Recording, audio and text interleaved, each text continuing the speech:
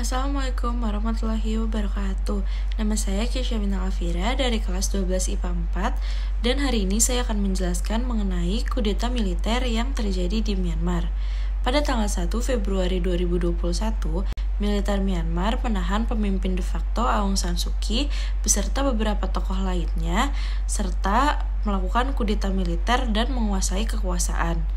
Kudeta militer yang terjadi diklaim karena adanya kecurangan yang dilakukan oleh Partai NLD atau National League of Democracy yang dipimpin oleh Aung San Suu Kyi. Diklaim bahwa Partai NLD melakukan kecurangan terhadap USDP atau Partai Union Solidarity and Development Party yang merupakan afiliasi militer. Namun kecurangan ini tidak dapat dibuktikan sehingga klaim ini hanya didiamkan oleh Komite Penyelenggara Myanmar.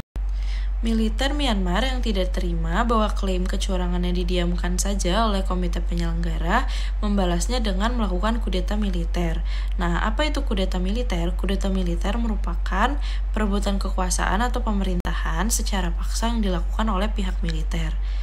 Kudeta militer ini dianalisis bukan berasal dari klaim kecurangan, namun lebih ke upaya militer agar uh, kekuasaan mereka tidak dapat direbut oleh partai mana pun.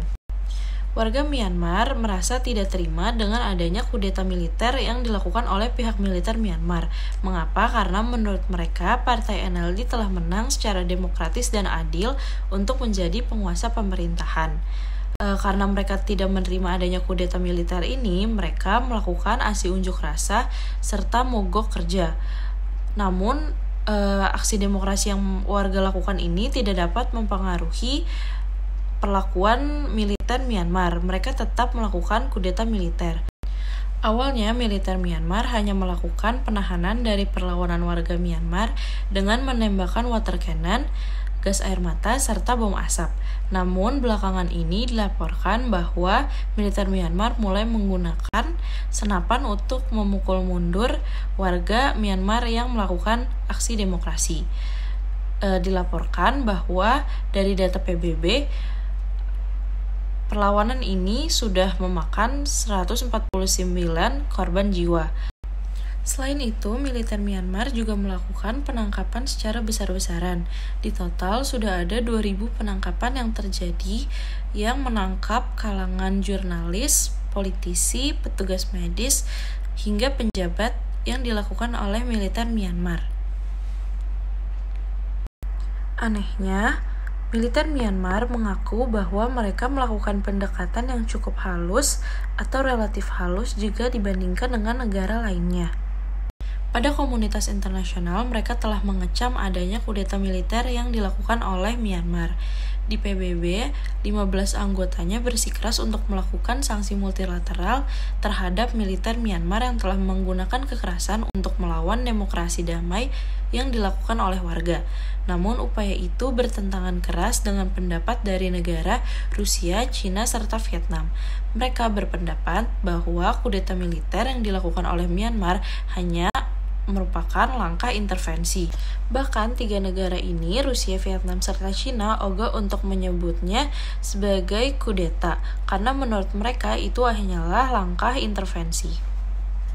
Belakangan ini, mereka juga melakukan sanksi dengan cara menyasar bisnis-bisnis yang menjadi kantong uh, uang dari militer Myanmar. Keberadaan Aung San Suu Kyi sejak ditahan pada 1 Februari lalu belum diketahui sampai sekarang. Kabar beredar bahwa Aung San Suu Kyi sekarang ditahan di rumahnya. Namun e, berita itu sulit dikonfirmasi.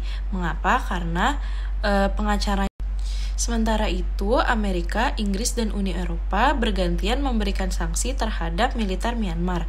Pada awalnya, mereka hanya memberikan sanksi ekonomi serta personal terhadap pejabat-pejabat militer Myanmar. Namun, pun dilarang untuk menemuinya oleh militer Myanmar. Sampai saat ini, permasalahan kudeta militer yang sedang dialami oleh Myanmar belum juga selesai sejak 1 Februari 2021 lalu. Sekian penjelasan yang dapat saya jelaskan mengenai apa yang sedang terjadi di negeri Myanmar, yaitu kudeta militer. Semoga penjelasan saya dapat uh, membuat yang menonton teredukasi dan juga mendapat pengertian yang jelas mengenai kudeta militer yang sedang terjadi di Myanmar. Apabila ada salah kata, saya mohon maaf. Kurang lebihnya, mohon maaf dan terima kasih. Wassalamualaikum warahmatullahi wabarakatuh.